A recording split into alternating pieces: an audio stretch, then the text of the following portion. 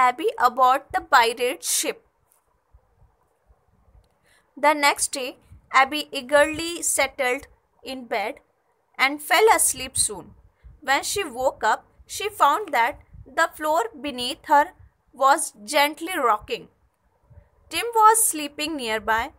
Abby shook him awake. Wake up, she said. I think we are on a ship. Tim shot up immediately. Just then, they heard footsteps behind them. When they turned around, they saw an angry looking pirate standing before them. Abby and Tim were shocked, but the pirate burst into jolly laughter. I scared stuffing out of you, he said. My name's Captain Sunny.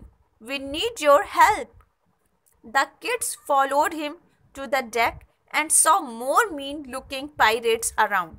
But when they spoke to them, they saw that the pirates were all kind and harmless. The pirate Brutus has stolen our treasure map, said Captain Sunny. He will only return it if we send him the answer to this maths problem. Will you help us?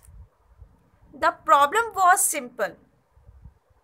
The pirates could not solve it because they had not gone to school. Abby and Tim solved the problem with ease.